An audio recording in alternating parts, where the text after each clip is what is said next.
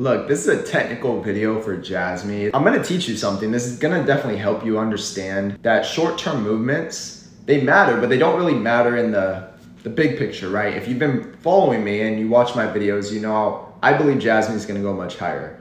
Um, but as I'm making this video, you're probably seeing it the next day, the next morning. But when I recorded this, you gotta see what I'm about to show you because Jasmy was rising. I'll just tell you real quick before I share my screen.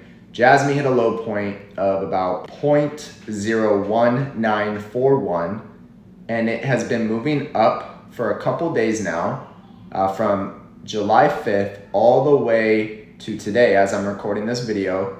It's up over 30%, okay? So everyone's excited again, but then, and you'll see in a second, big red candle where it just dropped down. So we're actually only up 21%. So we're about down 9%, 8 to 9% from the most recent high after this 30% rally of about 2527. And I'm going to show you why it rejected and why you shouldn't be concerned. And, and you really want to learn this stuff with RSI, stochastic, Keltner channels. We're also talking a lot about the 21 EMA right now. If you saw my last video from yesterday for Jasmy on a weekly time frame, looks very, very good still. Um, and then we talk about volume too. So don't forget to drop a like, guys. We'd always appreciate that. If we can push this more likes up, that'd be really great. Uh, subscribe if you're not subscribed yet. And let's get into it. So as always, we have the volume on the right-hand side. Now this is a daily time frame. I usually show you guys a weekly time frame.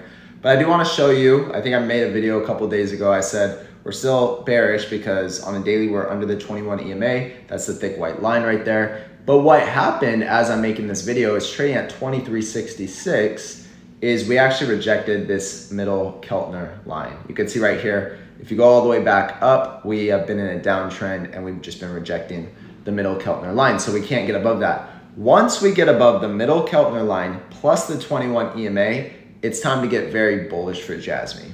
I could end the video right now. That's really all you guys need to understand, right? If we come back down, it is built making higher lows right here, even if you break down a smaller time frame, like a four hour or one hour time frame, this is good, but we'll see what happens. Okay, so again, all we need to do is get above the middle Keltner line and the 21 EMA, and this will start to move much higher. So do what you want, but this is just a quick technical analysis for you guys on Jasmy. It's not financial advice. I'm not a financial advisor. This is just my own opinion. Thanks for being here. We'll see you on the next one.